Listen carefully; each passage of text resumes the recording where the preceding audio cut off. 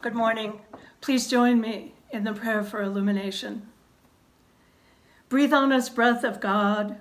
Fill us with life anew, that we may love what thou dost love and do what thou wilt do. Amen. Our first scripture reading on this Resurrection Sunday comes to us from the third chapter of Colossians, the first four verses. So if you have been raised with Christ, seek the things that are above, where Christ is, seated at the right hand of God.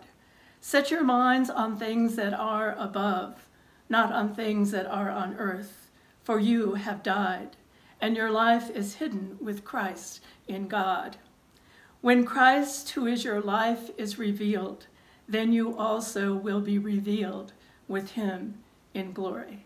This is the word of the Lord, so thanks be to God.